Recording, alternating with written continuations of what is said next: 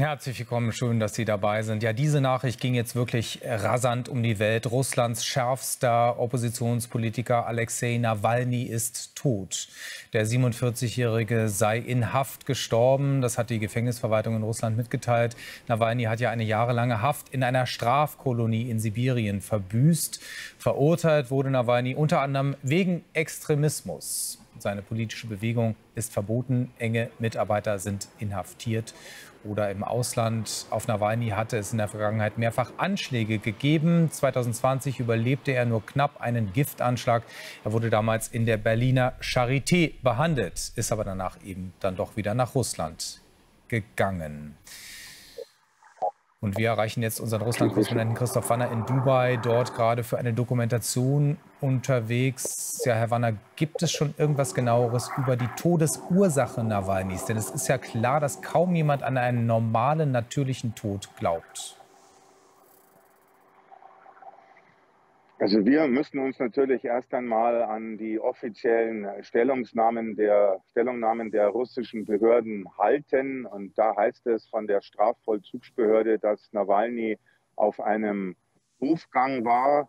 Äh, und da soll es ihm äh, übel geworden sein, schlecht geworden sein. Dann ist er wohl ohnmächtig geworden. Dann hat man versucht, ihn zu reanimieren, wie es von offizieller Seite heißt. Und dann war da wohl aber nichts mehr zu machen und Nawalny ist äh, verstorben. Heute vor wenigen Stunden in Sibirien, in dem kleinen Örtchen Harb, das ist in der Nähe der Stadt Salihard. Äh, da war dieses Straflager, äh, wo Nawalny inhaftiert war. Und äh, das ist jetzt die offizielle äh, Sichtweise, die offizielle Erklärung. Und äh, natürlich glauben Nawalnys Hänger diesen dass äh, Alexei Nawalny ermordet wurde äh, von dem System Putin. Das ist äh, sozusagen die Stellungnahme auch von Ekaterina Schulmann, einer wichtigen russischen Politologin. Und äh, dann gibt es auch noch eine Reaktion aus dem russischen Föderationsrat, also aus der oberen Parla Parlamentskammer. Und da heißt es, das Ganze sei ein Unglücksfall. Und der Sprecher von Wladimir Putin, Dmitri Peskov, hat gesagt, dass der Präsident informiert worden sei und dass jetzt eben die Ärzte herausfinden müssen, woran Alexei Nawalny wirklich gestorben ist. Und ich kann jetzt auch nicht mehr tun, als diese unterschiedlichen äh, Meinungen hier nochmal zusammenzufassen. Und es ist tatsächlich abzuwarten, was jetzt die Ergebnisse ähm, dieser Untersuchungen bringen. Und äh, klar ist natürlich auch, dass äh, die Anhänger von Nawalny ihre Meinung haben. Und daran wird auch diese Untersuchung der Ärzte nichts ändern. Das ist klar und es ist natürlich auch klar, dass in so einer Lagerhaft wirklich das nicht förderlich für die Gesundheit ist, selbstverständlich. Wie steht es denn jetzt eigentlich um die Familie? Äh, Nawalnys? Was wird mit ihr passieren? Also ich habe jetzt nur mitbekommen, ähm, dass die Familie darum gebeten hat, jetzt auch die Anhänger von Nawalny noch keine Stellungnahmen abzugeben. Äh, was genau mit der Familie jetzt passieren wird, ist für mich äh, äußerst schwer zu sagen.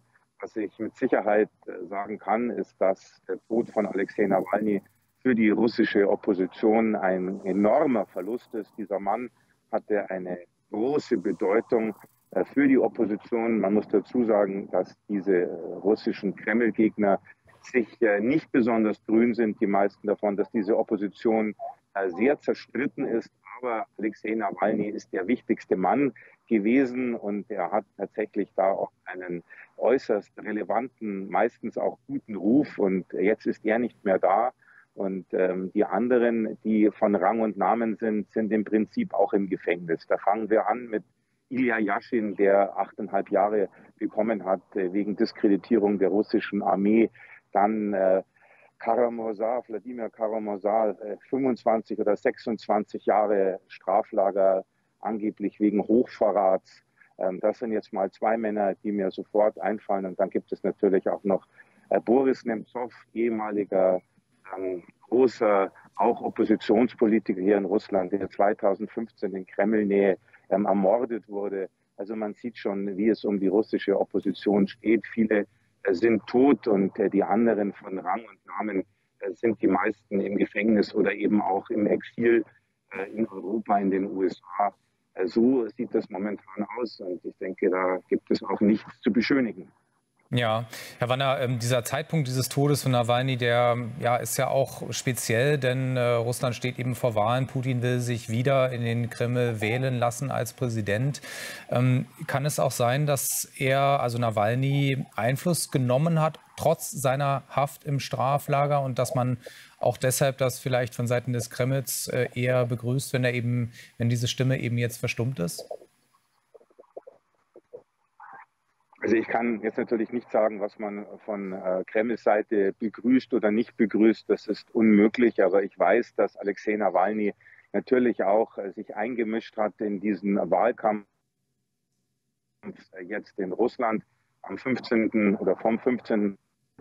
Präsidentschaftswahlen. Und Nawalny hat empfohlen, ähm, allen möglichen Kandidaten, die es nur gibt, die Stimme zu geben, nur nicht äh, Wladimir Putin. Und er hat eben über seine Anwälte auch aus dem Straflager in Sibirien heraus immer wieder versucht, äh, seine Anhänger zu motivieren und eben auch die Oppositionswähler dazu aufzufordern, ähm, allen ihre Stimme zu geben, egal wem, nur nicht Wladimir Putin. Das war immer die Position von Nawalny.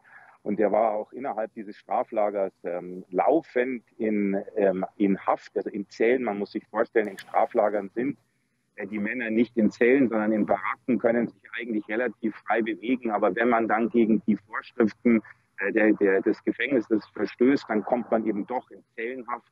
Das heißt dann Strafneuisolator, sowas wie Strafisolator. Und da war Nawalny, ähm, seitdem er in Harpes ähm, um die 20 Mal, wenn nicht mehr. Also die genaue Zahl liegt, glaube ich, bei 27 Mal. Immer wieder musste er da für 14 Tage, 10 Tage, drei Wochen einpassieren. Die, genauen, die genaue Länge kann ich jetzt nicht sagen ad hoc, aber so muss man sich das vorstellen. Und die Haftbedingungen sind natürlich in diesem sogenannten Straflager nochmal um einiges heftiger und schwieriger als in dem normalen Barackensystem, ähm, auf dem ja das russische ähm, Straflager passiert oder der Strafvollzug passiert. Das ist anders als in Deutschland. In Russland gibt es äh, wesentlich mehr Straflager als Gefängnisse. Gefängnisse gibt es im Prinzip eigentlich nur in Form von Untersuchungsgehängnissen und in Form von Gefängnissen für lebenslängliche. Alle anderen sind in den diversen Straflagern inhaftiert. Christoph Wanner, vielen Dank für diese Informationen. Zurzeit in Dubai unterwegs, deshalb dieses eher ungewöhnliche Bild. Dankeschön. Die Unterbrechungen in der Leitung, die zwischenzeitlichen, die bitte ich zu entschuldigen.